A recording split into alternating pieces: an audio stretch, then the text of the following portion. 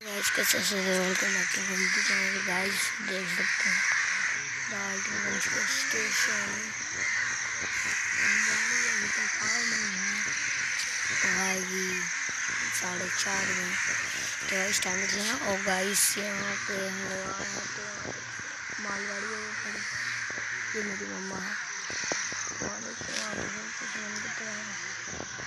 तो ये है डाल्टनगंज का स्टेशन आप लोग भी आइए बहुत अच्छा लगेगा ओके बाय